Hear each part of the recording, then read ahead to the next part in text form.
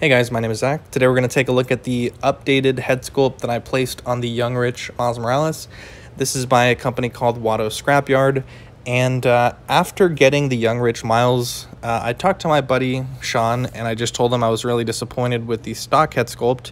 Uh, it definitely wasn't bad, but it just wasn't as good as like, it could be. And so Sean designed and printed uh, the head sculpt that is on the figure Here's a look comparing it to the stock one. And the paint was done by my wife. Uh, she has actually has an art Instagram page if you want to follow her. But yeah, I just really like this head. I think it's great. I think it looks a lot more like Miles Morales. I think the expression is a lot better for this figure. And uh, he's also working on a uh, Spider Gwen unmasked head sculpt to replace the Hunchback of Notre Dame bullet head uh, Gwen Stacy. Uh, you can find him on Facebook and on eBay at Watto Scrapyard. Really good guy. Definitely check him out. He makes a ton of other head sculpts for Star Wars, uh, mostly Star Wars, but also Marvel.